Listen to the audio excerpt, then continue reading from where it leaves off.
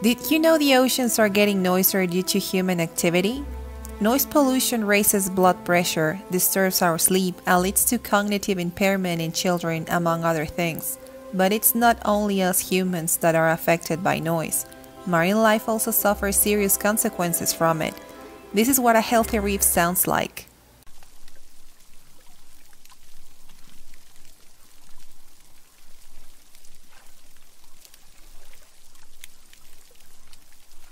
And this is how it sounds due to anthropogenic activity.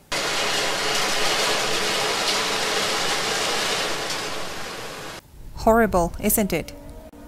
Who makes these noises? Since 1960s, vessels' noise have been doubling alarmingly. The engines of any kind, from small boats to floating cities, affect marine life. Military acoustic tests, nuclear test bombs, seismic surveys that are used to search for oil and gas, these explosions can be heard 3,000 kilometers away and cause permanent deafness in animals that are in a range of 1 kilometer. Sound travels 4 times faster and farther in water than it does in air. This is how the seismic survey sounds. What are the consequences? A study by the University of North Carolina found that the reef fish population decreased by 78% when these explosions were carried out. This is how it looked before, and so it looks after. For cetaceans that are guided by complex sounds to communicate, socialize, find food, and mate, it has been increasingly difficult. It has even led to strandings and consequently death. Various studies conclude that whales try to evade vessels more than 50 kilometers away. For belugas and narwhals, to find breathing holes has become more difficult because these whales are guided through sonar and echolocation. These images are becoming increasingly common and leading them to death. This is an audio of how belugas communicate.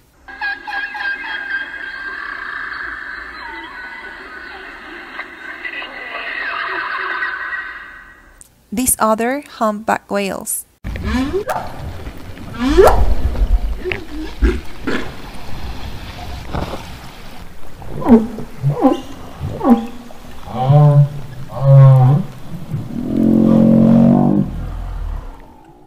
Here are the orca.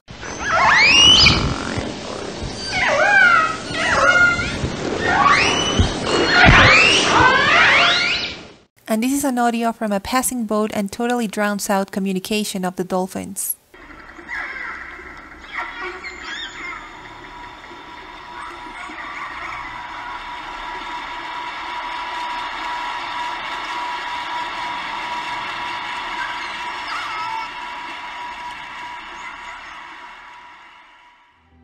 Plankton, which is so important in our lives, is also affected. The zooplankton dies when receiving the impact of these sound waves. I leave you the link here in the upper right corner of your screen to know more about plankton.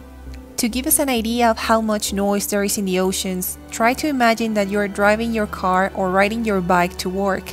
And at the same time that you hear an ambulance siren, all the cars around you just lay on their horns.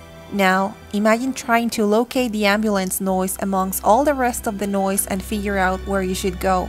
Some vessels are so noisy that they reach 180 decibels. This is like listening to a space rocket during takeoff. Could you communicate as you normally do? Remember that every breath you take is connected to the sea.